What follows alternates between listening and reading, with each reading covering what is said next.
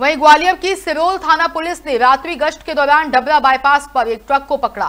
Truck में गौवंश को ठूस ठूस कर भर कर ले जाया जा रहा था। पुलिस ने ट्रक को जब्त कर तीन आरोपियों को हिरासत में लिया है। ये तीनों आरोपी गौवंश को भर कर भिंड से इंदौर ले जा रहे थे। पुलिस ने ट्रक को जब्त कर 19 बैलों को गौशाला भेज दिया। वहीं पुलिस ने तीनों आरोपियों के खिलाफ पशु क्रूरता अधिनियम के तहत मामला दर्ज किया। सिरोल थाने में मुखबिर द्वारा सूचना प्राप्त होने पर जो है पीताम्बरा ढाबे के पास जाके एक ट्रक को चेक किया तो उसमें 19 नग बेल गोवंश मिले और क्रूरतापूर्वक उनको भरा गया था।